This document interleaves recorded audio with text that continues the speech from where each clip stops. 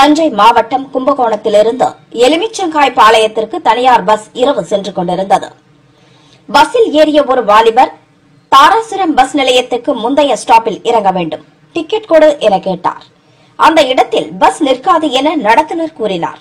உடனே அந்த ஆசாமி ஏன் நிற்காது என கோபமாக கத்தியபடி பஸ் சாவியை எடுத்துக்கொண்டு கீழே இறங்கிச் சென்றார். பஸ்ஸை டிரைவர் நிறுத்திவிட்டு அந்த நபரை விரட்டிச் சென்றார். சாவியை வாங்கி வந்து பஸ்ஸை மீண்டும் கிளப்பினார். இதனிடையே அந்த ஆசாமி தனது நண்பர்களுக்கு செல்போனில் தகவல் கொடுக்க அவர்கள் அறிவாளுடன் பைக்கில் வந்தனர். எலுமிச்சங்காய் பாளையம் அருகே பஸ்ஸை பைக்கில் வழிமறித்தனர்.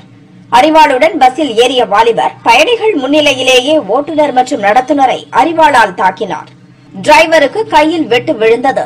கண்டக்டரையும் அறிவாளால் தாக்கிவிட்டு வாலிபர் தப்பி ஓடினார். பயணிகள் பீதியில் உறைந்து போயினர். காயமடைந்த கண்டக்டர் டிரைவர் கும்பகோணம் மருத்துவமனையில் சேர்க்கப்பட்டனர். பஸ்ஸில் பொருத்தப்பட்டிருந்த சிசிடிவி கேமராவில் வாலிபரின் அத்தனை அராஜகமும் பதிவாகியிருந்தது அதன் அடிப்படையில் வாலிபரை போலீசார் தேடி வருகின்றனர்.